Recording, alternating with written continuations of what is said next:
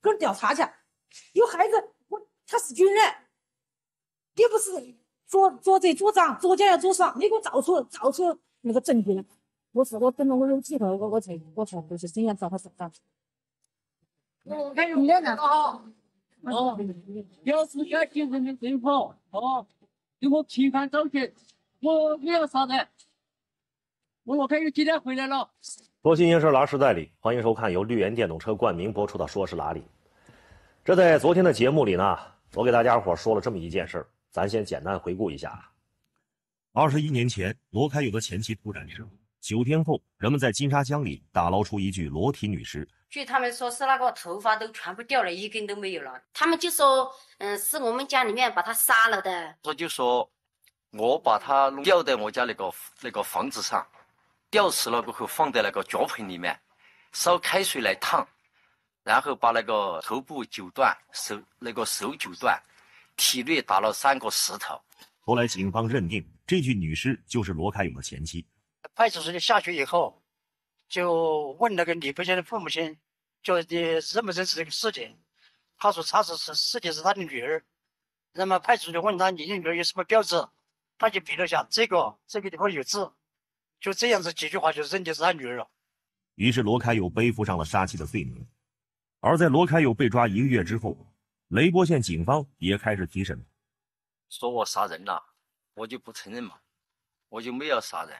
当当他出示这个照片的时候，我一看到，哎，这个尸体是另外一个人，我当时就是说，又想笑又想哭，我就心里面活了，我就跳起来跟了那个法医，哎一一耳光嘛。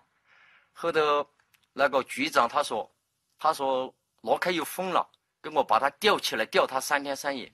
罗开友被关押了二十一个月之后，又因为证据不足被释放。之后不久，公安机关和罗开友所在的部队又联合做出了处理决定，其中说李培香下落不明，作为丈夫的罗开友负有责任。为了证明自己的清白，罗开勇开始用自己的方式寻找前妻李萍香。他跑遍了大江南北，到处安插卧底，想尽了各种办法。二十多年来，他的足迹遍及了四川、云南、北京、天津等多个地方。虽然说那个尸体。尸体不是，但是他们就说这个李培香定为失踪，他的失踪我负有责任，所以说的话，我想的话就说，不管怎么都要想办法把这个女的找出来，哎，让乡亲们和我们部队的人看一下，认清一下这个事情。二零一零年，罗开又认识了一个叫姚连军的朋友，姚良军四十七岁，云南省永善县人，曾因杀人罪入狱。因为曾在派出所工作过，有些破案的经验，两个人想到了一个办法，那就是通过李家人去找李培香的线索。姚连军开始主动找上李培香的父亲李兴发去做生意，做生意挣了一笔钱，两个人之间的距离就拉近了。于是李飞香的父亲李兴发就开始向姚连军讲述当年自己女儿被罗家人如何殴打、如何发疯的经历。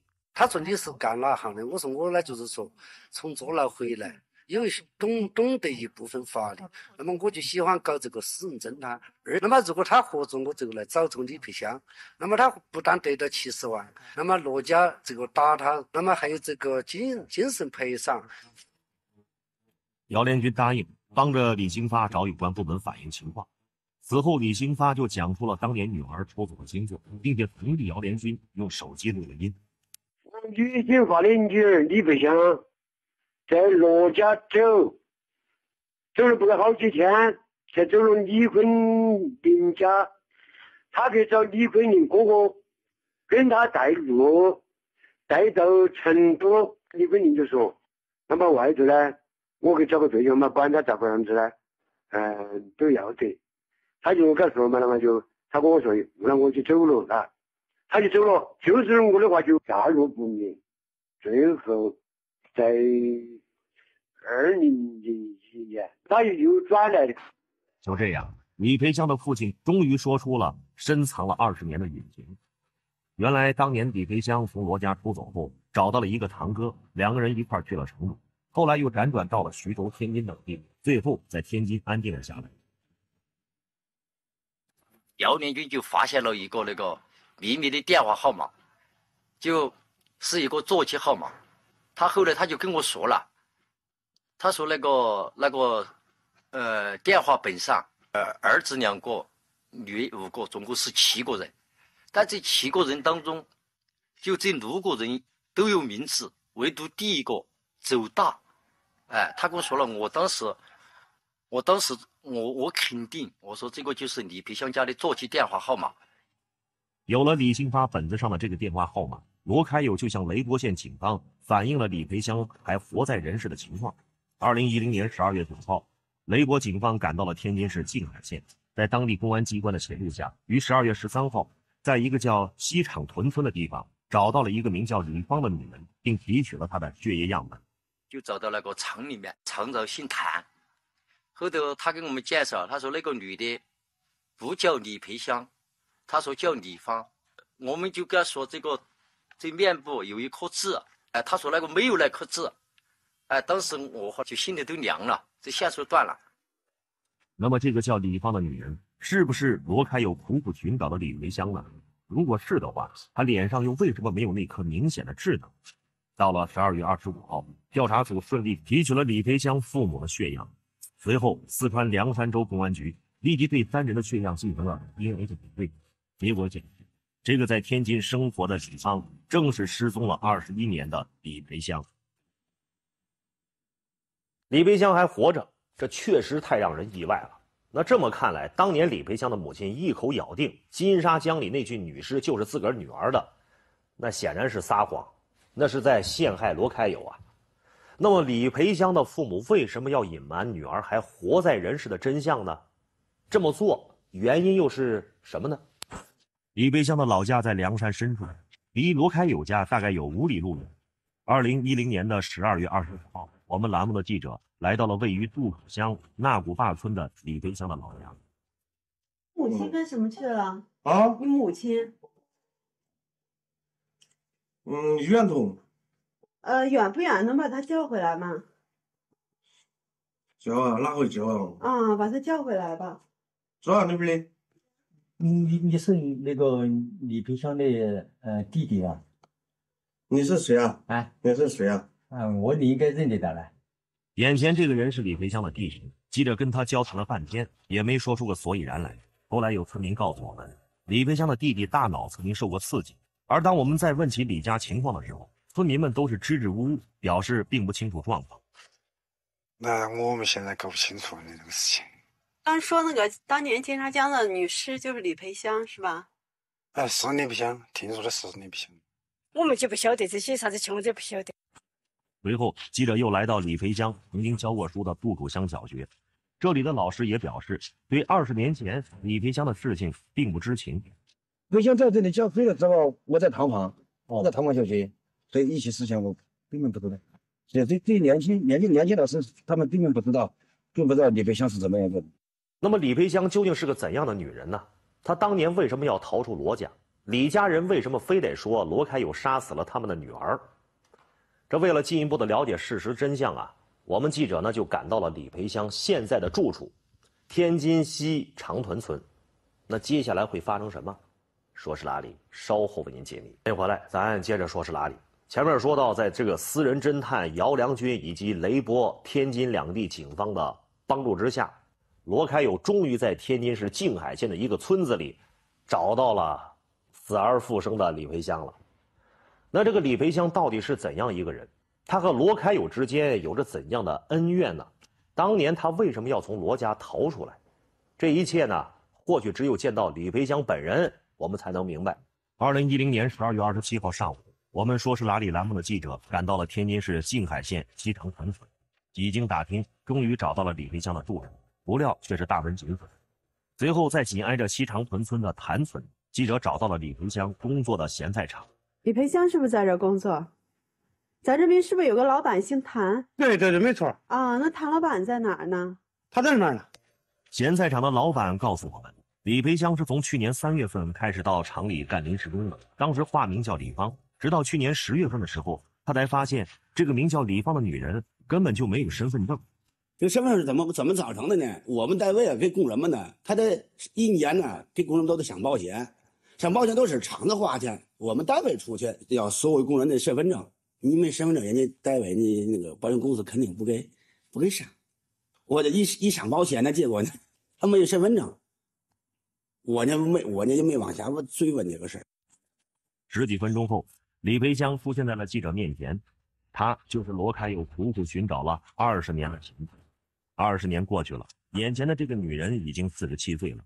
岁月早已无情地在她眼角上刻下了斑斑的痕迹，不过还是掩盖不住这个女人当初的美丽。那么当年的她为什么要离开罗家？她又是如何来到天津的？因为他家那个虐待我，那个打我，我反正他家就是过过不下去了，欺负我。他的公公对我没还没有那个那个心怀鬼胎，有有不轨的行为，我无法，我我没法说不出口。当时我在那边代课。他还不许，我往外说，我要说了，你就当不成老师了，你你就你就没脸见人了，就这个，所以我我逃出让我逃出虎口。李培香的话让我们很吃惊。他说，二十一年前，他在一个深夜逃离家乡，从此断绝了与家人的一切联系。他不知道金沙江的女尸案，也不知道他已经是死了的人了，更不知道罗开友找了他二十多年。在他口中，离家只是为了逃命。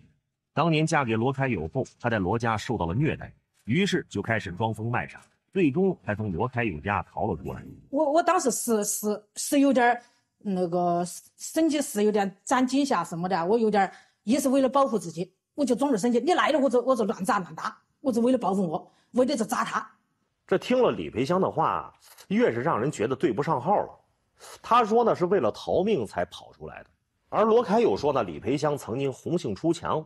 俩人离婚后呢，还赖在他们家里边装疯卖傻，那究竟哪个是真，哪个是假？怎么回事呢？那是他家，他家那个胡说八道的，我还得找他，找他给我恢复那个麻烦去。他现在还得侮辱我的人格，我得我得让他付付出法律责任。怎么孩子哪来的孩子？给人调查去，有孩子我他是军人，你不是做做贼做赃做奸要做爽，你给我造出造出那个证据来。我是我等了我有机会，我我才我才回去沈阳找他算账去。这个家务事啊，他是最难理出一个头绪来的。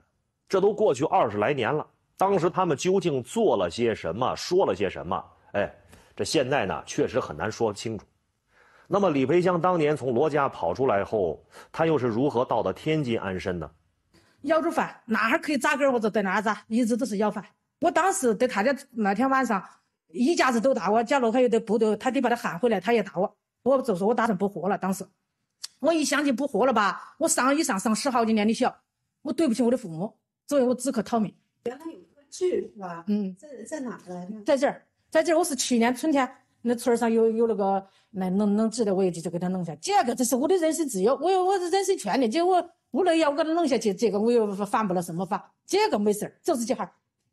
当天晚上，我们见到了李培香现在的丈夫孙丰洛。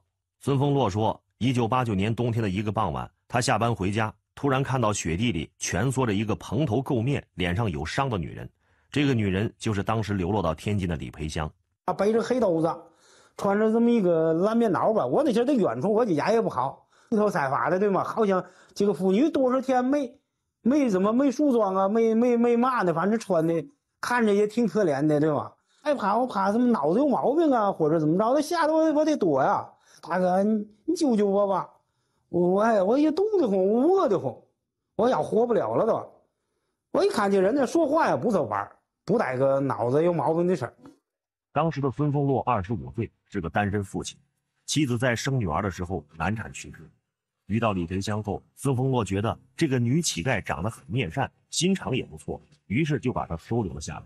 在接下来的日子里，两个人逐渐产生了感情，不久便决定结婚。女乞丐告诉孙飞洛，她叫李芳，因为一直没有户口，两个人也一直没领结婚证。这玩意儿出时间久了啊，他就有感情。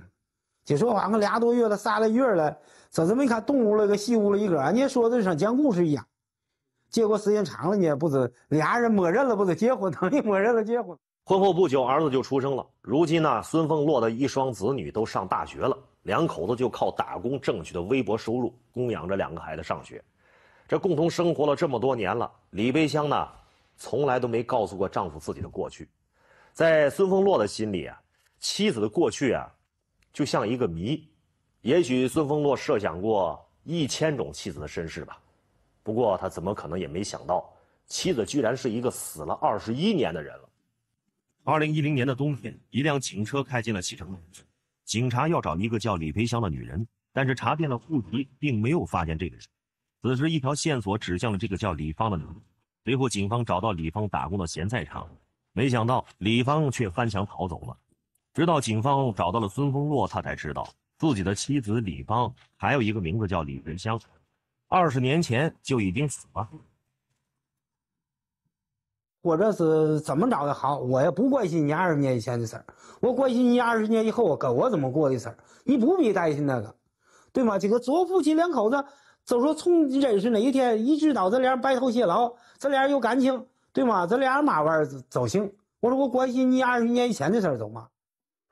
其实自打孙峰洛和李培香结婚开始，村里呢就一直有流言蜚语，有人说这李培香是个逃犯，有的说李培香是孙峰洛。从人贩子手里买来的，但即便是警察找上门来，孙峰洛依然相信他的妻子是个好人。我作为你这个你妻子来讲，我是个丈夫；作为孩子来讲，我是个父亲。这个在这个大灾大难面前，我必须得当着头了，对吗？我虽然个子长得矮，但是我这个一切我我得跟这个家庭的这个重任我得担起来。一到这边，当然就是孩子又是家庭，我估计耽误孩子上学，再一个是怕影响这个家庭。我一直这个年都我都瞒着孙峰了，没敢跟他说我是嗯怎么怎么样是因为嘛怎么着，都一直瞒着他。李维香说，结婚后孙峰洛一直对她很好。他当初之所以改名叫李芳，是取自“流浪四方”的意思。后来有了孩子，怕给家里人带来麻烦，就这么一直隐姓埋名的生活了下去。李培香说，后来当他知道罗开友被冤枉后，也曾经想回四川为罗开友证明清白。李培香还拿出了一件保留了二十年的证物，那就是当年逃到天津时他身上穿的那件蓝棉袄。都二十多年了，有什么恨呐？我也不想把他带到坟地去，还谁还死了都恨谁还还恨恨恨一辈子嘛？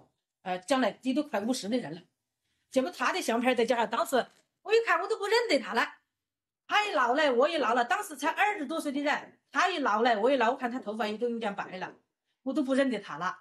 你就是见了面了，也许呀。我怎么想啊？也许你叫我骂他，我也骂不上来了。也许背不住，还得有几滴眼泪。看来这个李培香和孙丰洛啊，那都是重情重义的人。孙丰洛不在乎李培香的过去，跟他厮守了二十年了。而在李培香的口中呢，尽管罗家千万个对不起他，但当听说罗开友因为自个儿背负上了杀妻罪名二十年的时候啊，他还是愿意出来作证。此时此刻，在千里之外的。四川省雷波县渡口乡营盘村，罗开友呢，正在等待着一件大事儿的发生。二零一零年十二月二十八号，住在雷波县城的罗开友特意起了个大早，因为这天他要回老家营盘村。村子位于海拔将近两千米的高山上，因为塌方，路被阻断了，汽车不能通行。记者和罗开友只好下车走小路。这里距离他家还有两里山路，尽管山路崎岖陡峭，又很狭窄。罗开友的步子却迈得很大，走得也很快。路上每遇见一个熟人，他总会掏出一支烟递上，给对方点上，再说笑上两句。四十分钟后，我们终于到达了半山腰的渡口乡小学，一场特殊的证明大会即将在这里召开。四十七岁的罗开友早早的就坐在了台上，等待着雷波县政法系统工作人员以这种极为郑重的方式为他洗清冤屈，恢复名誉。来此。我代表公安机关对罗开友、罗开强、罗天元、曾秀元等四人公开恢复名誉，同时，同时对二十一年前因公安机关在办理此案过程中的工作失误，而对四名当事人造成的伤害表示深深的歉意。我罗开友，你来好。哦，表示感谢人民政府哦，给我平反早雪，我没有杀人。我罗开有今天回来了。为几个普通的公民召开恢复名誉大会，这在雷波县历史上呢还是头一遭。而为了这一天，罗开友是奔波忙碌了二十年呀。雷波县公安局局长在赔礼道歉会上说，二十一年前的那起杀妻案是一起冤假错案，尽管案子不是他办的。但是作为现任的公安局长，那就有责任为老一辈民警道歉呀。欠罗开友的三笔账，那也都应该一一的偿还。二十一年前，一起冤案给罗开友等人带去了感情伤害，这笔感情账他得还。二十一年前，冤案是因为当时法律不健全造成的，这笔法律账也得还。二十一年前，一起冤案给罗开友等人造成了经济上的损失，这笔经济账更得还。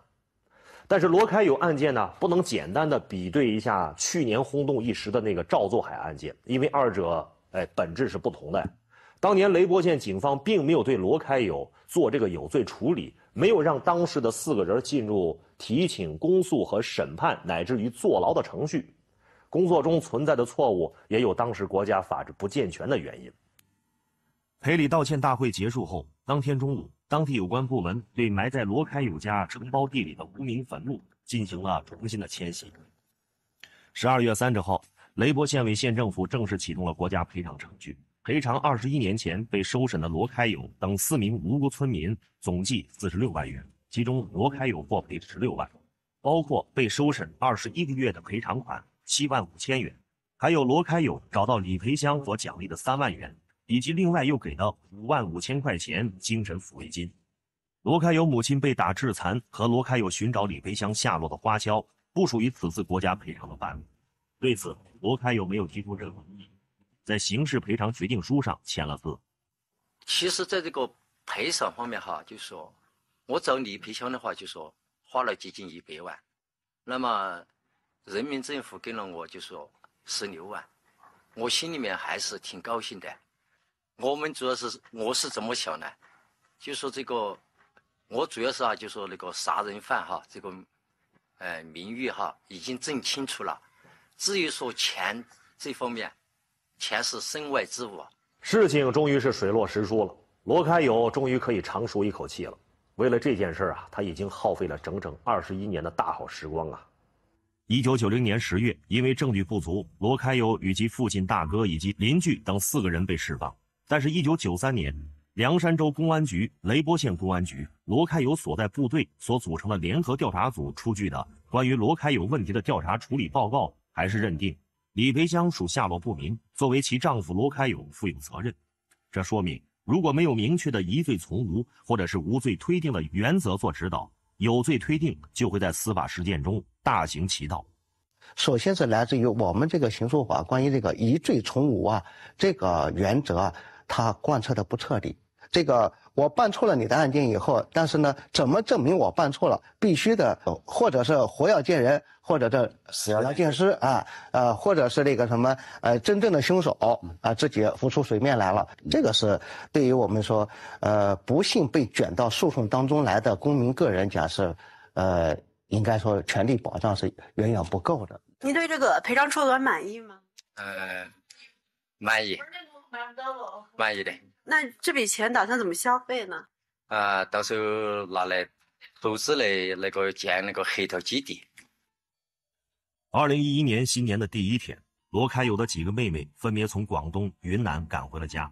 为了等待这一天，全家人等了二十年，每个人的脸上都洋溢着幸福的微笑。他们终于可以无忧无虑的享受天伦之乐了。罗家的几个姐妹还特意去做了头发。我们的记者用摄像机记录下了这一大家子在历经磨难后的最简单又最平凡的幸福。据了解，雷波县公安局呢将抽调警力，对李培香家人是否存在故意诬告、是否存在打砸闹事等违法行为展开调查取证。一旦发现存在违法行为的话，那公安机关将会依法对相关人员给予追责了。从这件事看啊，罗开友无疑是很幸运的。二十年后，李培香愣是被他给找到了。咱试想一下啊，如果说罗开友到今天还没找到李培香，或者说这辈子也找不到这人了，你说谁又该来为他的这一生负责呢？那通过这件事啊，也让我们相信，真理真相就像阳光一样，有的时候可能会被乌云给遮蔽了，但是